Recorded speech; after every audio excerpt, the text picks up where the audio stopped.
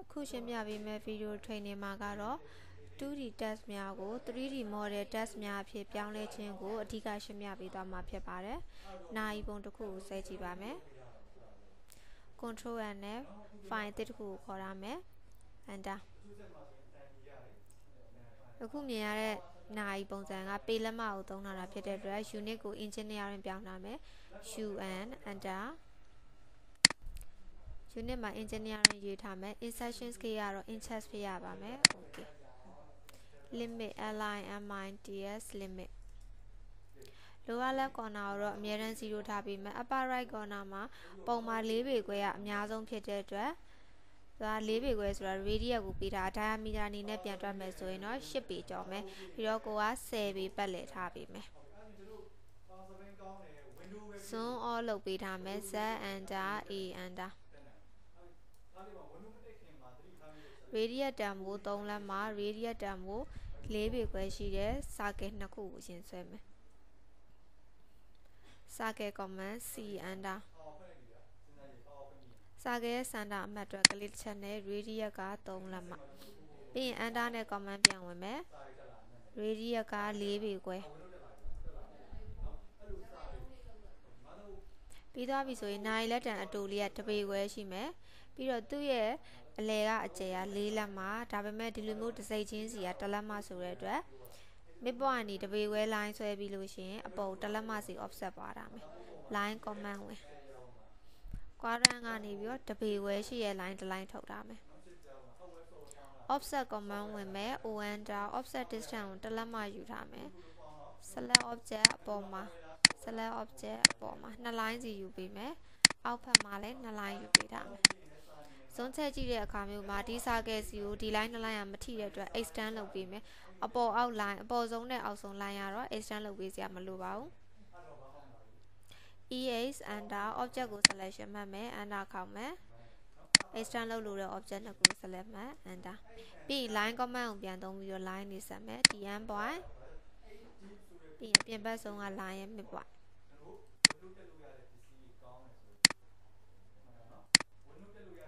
ဆက် လုပ်ပြီးသွားပြီဆိုရင်တော့ဒီ line တွေကမလိုတော့တဲ့အတွက်ဖြတ်ထားမယ်ပေါ်ဘက်ကနိုင်လက်တံကိုလည်းဒီအတိုင်းဆွဲပေးမယ်သူကတော့2ပေခွဲ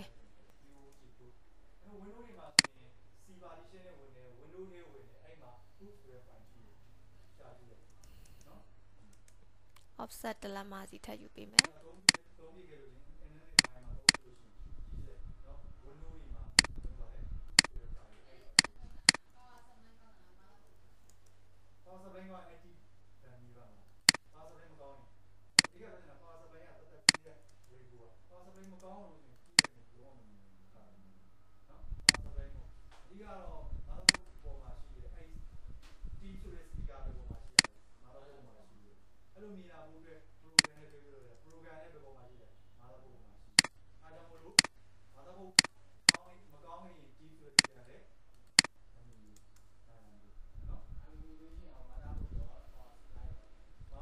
ဒီညာလေးအတွက်တစ်လက်မနဲ့6လက်မရှိတဲ့ rectangle တစ်ခုထပ်ဆွဲပေးမယ်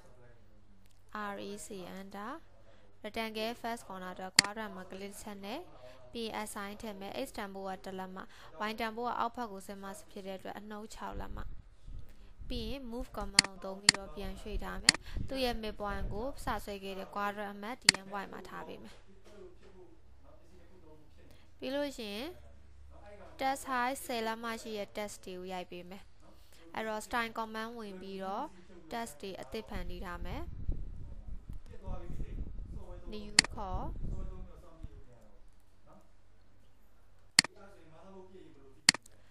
test file ကို time new roman ကိုသုံးမယ် test height ကို10လက်မှသတ်မှတ်ထား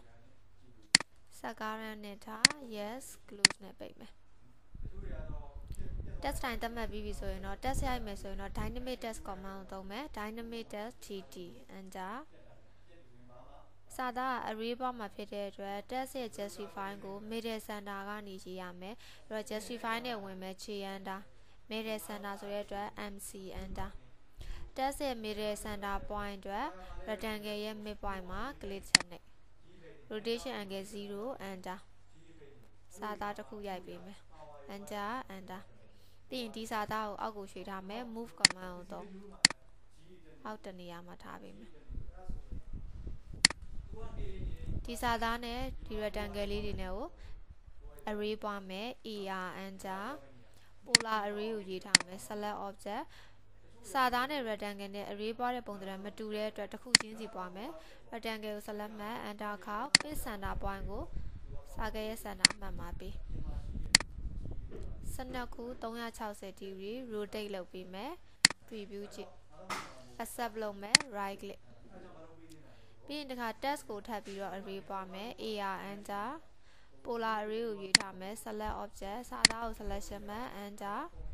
page center point ကိုရွေးစာကဲရဲ့ center အမှတ်ကိုပေးမယ်12ခု360စာသားတွေအတွက်ကိုတော့ rotate မလုပ်ပေးဘူး rotate ကိုအမှန်ချစ်ဖြုတ် preview ကြည့်ထားမယ် right click accept လုပ်ပေးမယ်ပြီးရင်စာသားပြင်ပြင်မယ် ရိုက်ပြီးသားစာသားတွေကိုပြန်ပြင်ခြင်းနဲ့ဆိုရင်တော့စာသားပေါ်ကိုတင်ပြီးတော့ double click နှိပ်မယ် double click ဒါကို double click edition လို့ခေါ်တယ်တစ် enter command ဝင်သွားပြီဖြစ်တဲ့အတွက်ကျန်တဲ့စာသားတွေဆိုရင်တော့ click ဆက်နှိပ်လိုက်ရုံနဲ့ရပြီ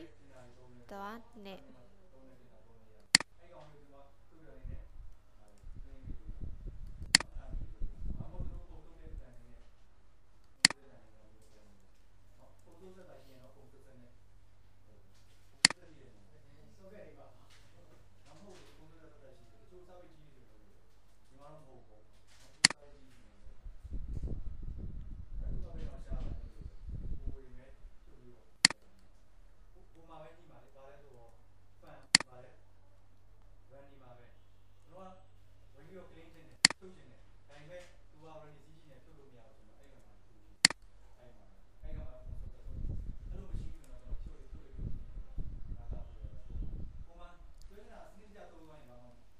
စာသားနဲ့ rectangle လေးတွေနဲ့ထိနေတယ်ဆိုရင် move command ကိုသုံးပြီးတော့နည်းနည်းစီရွှေ့ပေးထားမယ်သူတို့ကိုဒုတင်တဲ့အခါမှာတစ်ခုနဲ့တစ်ခုထပ်မနေအောင်လို့ပါ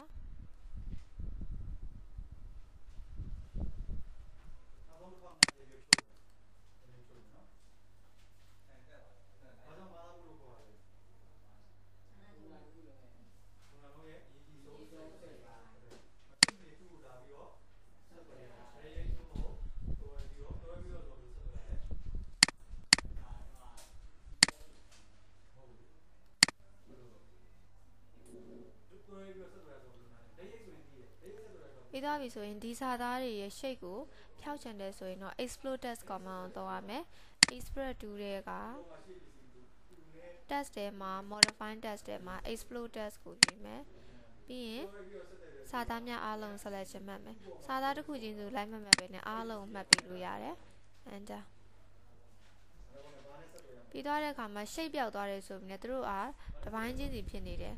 အဲ့တော့ကြောင့်မလို့ explode command ကိုသုံးပြီးတော့ထပ်ပြီးတော့ explode လုပ်ပေးမယ် x select object အားလုံးတစ်ပြိုင်နက်တည်းပဲ explode ဖောက်လိုက်ပြီးတော့မှ polyline ဖြစ်ပြန်ပြောင်းပေးမယ် select object enter ဆိုတခုချင်းညီဖြစ်သွားတဲ့သူတို့ကို line ပြက်ကလေးဖြစ်နေတဲ့ဒီညာလေးတွေအားလုံးလိုက်ဖြတ်ပေးထားမယ်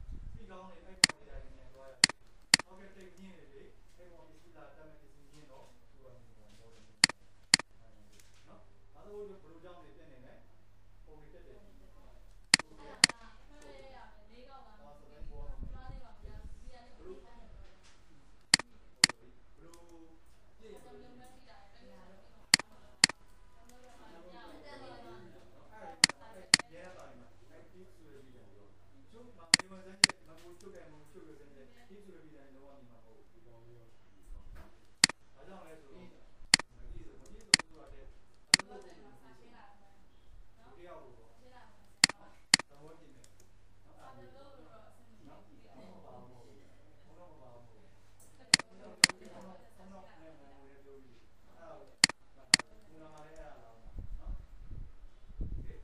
လုံး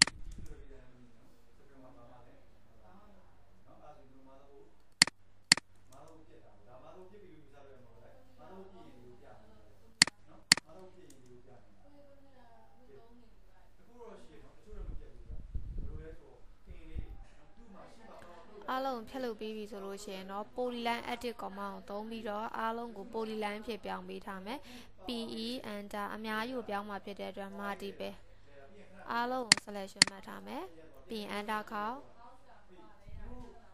တော့ line လေးအားတူပြောင်းမှာလားလို့မေးလိုက်မယ်ပြောင်းမယ် yes enter option ထဲမှာတစ်ခုနဲ့တစ်ခုဆက်ချင်တာဖြစ်တဲ့ join ဆိုတဲ့ option ထဲကိုဝင်မယ် j enter ဒီတန်မိုးတွေကိုလက်ခံမဲ့ under option ဝင်စရာမရှိတော့တဲ့အတွက် under ခောက်ပြီးတော့ comment ထွက်ပေးထားမယ်ကြည့်ကြည့်လိုက်မယ်အားလုံး polyline ဖြစ်မဖြစ်ဒါဆိုသူတို့အားလုံး polyline ဖြစ်သွားပြီဆိုလို့ရှိရင်တော့ isometric view ကိုပြောင်းပြီးတော့ do တင်ပေးမယ်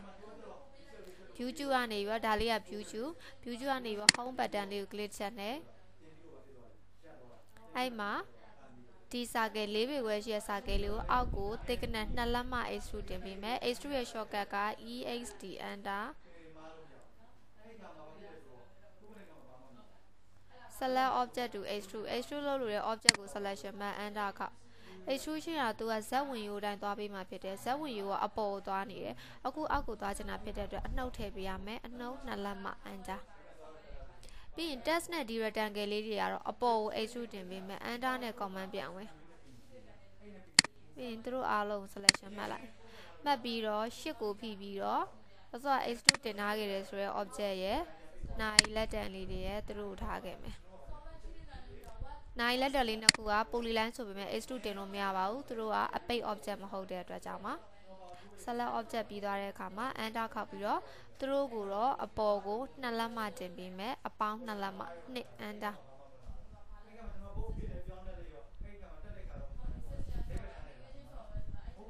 နှစ်လက်မှပြောင်းသွားပြီးတဲ့အချိန်မှာ shape ပေါ်ပြီးတော့ကြည့်ကြည့်မယ်ဆိုရင်တော့ view tab ထဲမှာ visual style ထဲမှာဖွင့်လိုက်မယ်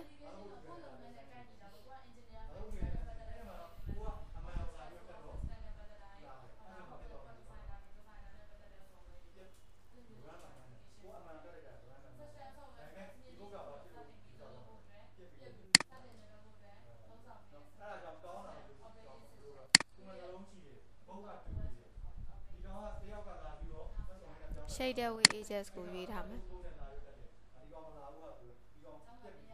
အဲ့ဒီအချိန်မှာ0ဆိုတဲ့ခဏန်းလေး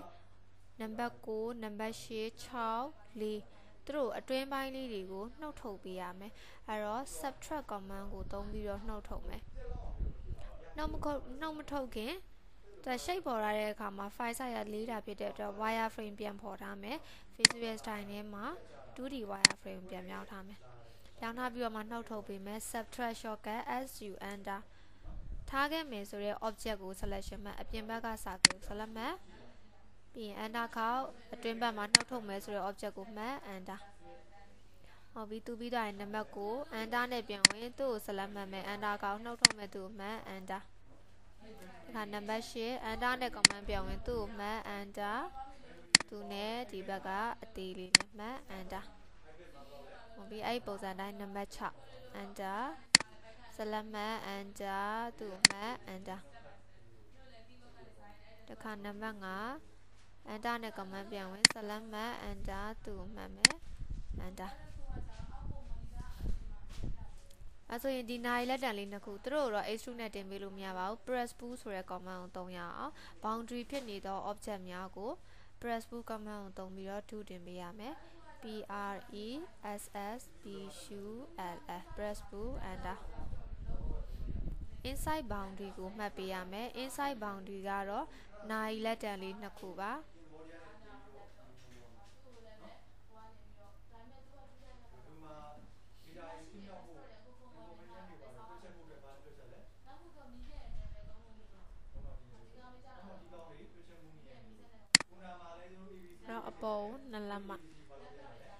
တစ်ပတ်အန်တာနဲ့ပြန်ဝင်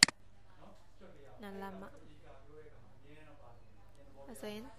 shape ခေါ်ပြီးတော့ပြန်ကြည့်ကြည့်မယ် shader with ages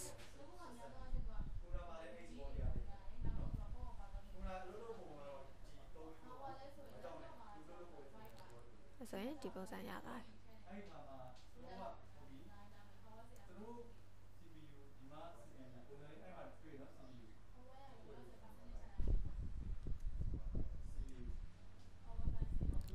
2D test များကို 3D model test များအဖြစ်ပြောင်းလဲပြီးတော့ဆက်ကြည့်လို့ရသွားပါပြီ။